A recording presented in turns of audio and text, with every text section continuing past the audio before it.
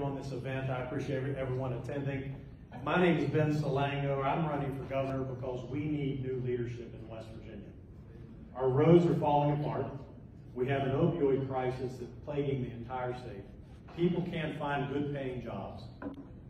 And we have to do something about it. I'm the person that's going to take these issues head on.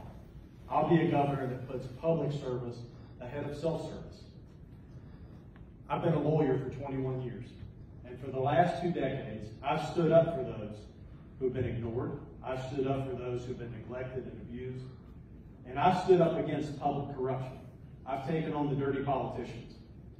As your governor, I will do and I'll put your interest ahead of everyone, just like I have my clients over the last two decades. As a Kanawha County Commissioner, I've brought new ideas and innovative thinking to diversify our economy, including building a sports complex that generates tens of millions of dollars per year.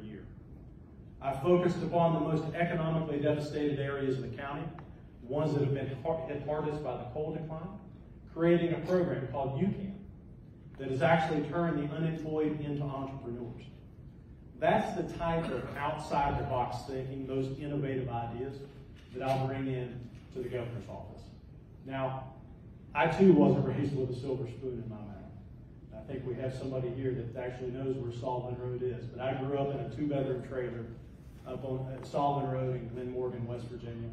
I watched my mom and dad work day and night to make ends meet. I saw them start their own little business, and I saw the struggles that it took to make it a success. I know the value of hard work.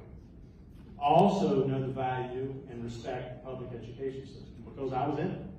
From kindergarten all the way through law school, I was in public education. And that's why, as your next governor, I will make it a priority to fully fund PEIA. I will make it a priority to make sure that we show the respect to our educators that they deserve, to make sure that they are compensated fairly and competitively. I'm going to put together a world-class team, not only to combat, but to end the opioid epidemic. And we're going to make sure that people have good paying jobs.